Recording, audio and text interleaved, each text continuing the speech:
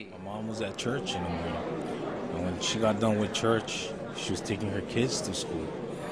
And that's when the tsunami hit, and uh, she was swept away. Searching for anything they can find, residents of Samoa and nearby American Samoa are finally getting the chance to survey the vast amount of damage from this week's earthquake and tsunami.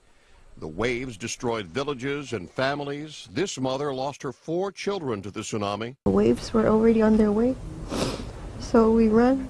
We lost his parents and two of our kids. Well, we only had two kids. We lost both our kids. My eldest is two years old.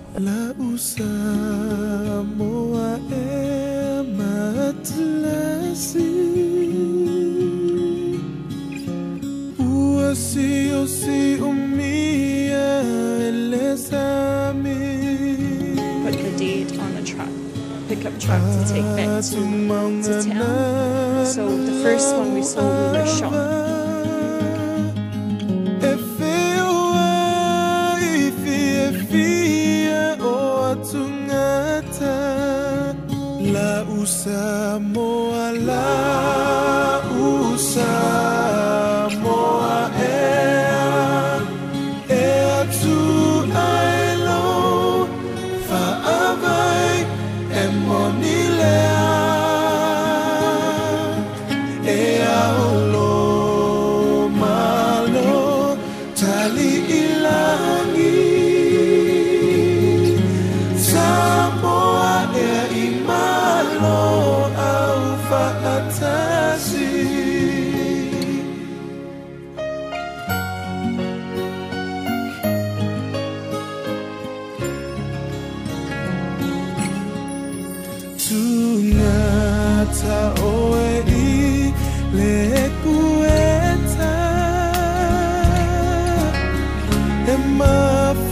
Whana fo i e vewe